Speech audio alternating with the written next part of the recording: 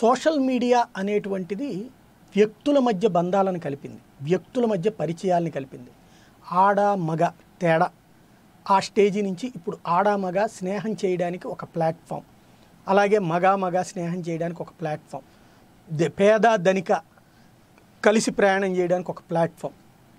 విదేశాల్లో ఉన్నటువంటి ఎన్ఆర్ఐ దగ్గర నుంచి స్వదేశంలో ఉన్నటువంటి పక్క రాష్ట్రాల్లో ఉన్నటువంటి మన సోదరుల దగ్గర నుంచి మనం అందరం కూడా ఒకళ్ళనొకళ్ళు తెలుసుకోవడానికి ఒకళ్ళనొకళ్ళు పరిచయం చేసుకోవడానికి ఒకళ్ళ గురించి ఒకళ్ళు అవగాహన చేసుకోవడానికి ఒక ప్లాట్ఫామ్. ఇదివరకు ఫ్రెండ్స్ ఉండొచ్చును బంధువులు ఉండొచ్చును.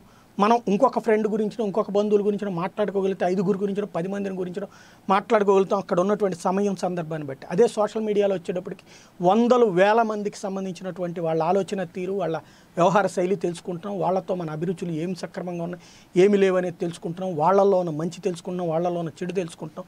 ఇవన్నీ జరుగుతుంది. కానీ షాకింగ్ సర్వే నిజాలు కనబడుతున్నటువంటిది ఏంటంటే చివరికి ముందు సంఘటితం చేసినటువంటి సోషల్ మీడియా విచ్ఛిన్నం చేస్తోంది.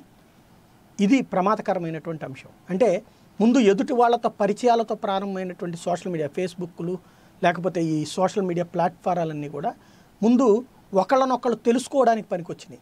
ఆ తర్వాత కాలంలో కొన్ని పెడపోకడలు వచ్చినాయి. అందులో మహిళల పట్ల వ్యవహరించే తీరు కానీ లేదంటే మిస్యూజ్ చేయడం ఆర్థిక పరమైనటువంటి విధంగా మిస్యూజ్ చేయడం ఇట్లాంటి కొంత కొంతమంది అది వ్యక్తి చపలత్వం అనుకున్నాం. కానీ సమూహాలు తయారవుతున్నాయి. ఇది నా కులం నా వర్గం నా పార్టీ నా ఆలోచనలకు అనుగుణమైనటువంటి ఒక బృందం.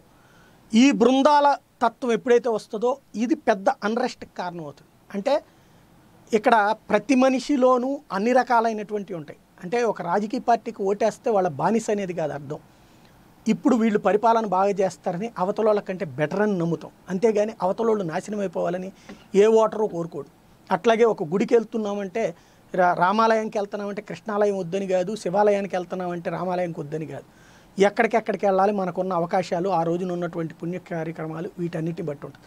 అంతేగాని ఇక్కడ ఈ వర్గం ఈ తత్వం అనేటువంటిది కాదు. ఇక్కడ ఒకళ్ళని ద్వేషించడం అనేటువంటిది కాదు భారతీయ సమాజంలో ఉన్నటువంటి.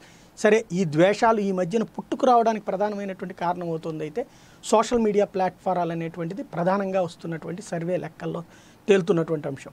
సమూహాల వారీగా మారిపోవడం ఒక ఎత్తు అయితే మేము మాదంతా ఒక గ్రూప్. నా ఆలోచనలకు అనుగుణంగా ఉన్నటువంటి గ్రూప్ లేదా నేను కోరుకున్నటువంటి విధంగా ఉన్నటువంటి గ్రూప్ అనేది ఒకటి ఫీల్ అవుతుంటే పక్క గ్రూప్ని శత్రువుగా ఫీల్ అవ్వడం మరొకటి. అది ఈ మధ్య కాలంలో పుడుతున్నటువంటి జాడ్యం. ఇది అర్జెంటుగా వదిలించుకోవాలి. అంటే ఒక అన్రెస్ట్ క్రియేట్ అయిపోద్ది. ఇప్పుడు ఇదివరకు మనం ఎవరు కోటేసామో ఎవరితో తిరిగామో ఏ పార్టీతో ఉన్నాం ఇవన్నీ అనవసరం. అందరం కలిసేవాళ్ళం తిరిగేవాళ్ళం ఫ్రెండ్స్ కానీ బంధువులు కానీ అందరం కలిసిపోయేవాళ్ళం. ఇప్పుడు వచ్చేటప్పటికి సోషల్ మీడియాలో వచ్చినటువంటి తమ ఎక్స్ప్రెషన్ని వ్యక్తం చేయడం వల్ల భావ ప్రకటనను వ్యక్తం చేయడం వల్ల దాన్ని ద్వేషిస్తూ సొంత బంధువులతో శత్రుత్వాలు సొంత స్నేహితులతో శత్రుత్వాలు దాంట్లో చీలిపోవడాలు అవతలోళ్ళని అవహేళన చేయడాలు అవతలోళ్ళని అవమానించడాలు అవతలోళ్ళతో మనకు సంబంధం లేదన్నటువంటి విధంగా వ్యవహరించడాలు ఇది ప్రమాదకరమైనటువంటి పరిస్థితి అవుతుంది. ఇది వర్గాలని కలుపుతూ వ్యక్తుల మధ్యన కలపాల్సినటువంటి వ్యవస్థలు వ్యక్తుల చీలికకి వ్యవస్థల చీలికకి కారణమైతే దానివల్ల మానసికంగా శారీరకంగా ఆరోగ్యపరంగా అన్ని రకాలైనటువంటి భవిష్యత్ ఇబ్బందులు వస్తాయి. ఇది దృష్టిలో పెట్టుకోవాల్సినటువంటి అవసరం ప్రతి ఒక్కరికి ఉంది.